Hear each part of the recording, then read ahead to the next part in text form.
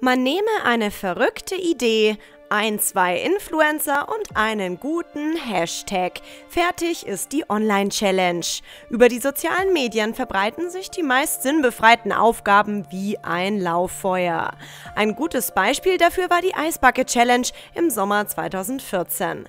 Um auf die Nervenkrankheit ALS aufmerksam zu machen, kippten sich abertausende Menschen einen Eimer mit Eiswasser über den Kopf und luden die Videos davon auf Instagram, Facebook und Co. hoch. Manche der Challenges sind aber einfach nur idiotisch bis hin zu lebensgefährlich. Bei der Tide Pod Challenge filmen sich Jugendliche dabei, wie sie auf Waschmittelkapseln beißen. Das klingt nicht nur unappetitlich, sondern kann im schlimmsten Fall tödlich enden. Mediziner und auch der gesunde Menschenverstand raten dringend davon ab.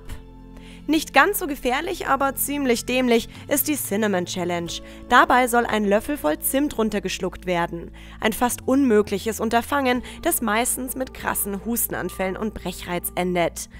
Auch irrsinnigen Schönheitsidealen wird im Netz immer wieder hinterhergejagt. Bei der Thigh Gap Challenge präsentieren meist junge Frauen die möglichst große Lücke zwischen ihren Oberschenkeln. Was daran schön sein soll, bleibt ein Rätsel. Zu guter Letzt noch ein Blick auf die Kylie Jenner Challenge.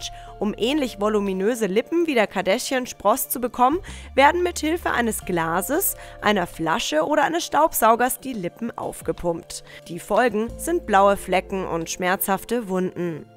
Gut, dass wir nicht jeden Trend verstehen müssen.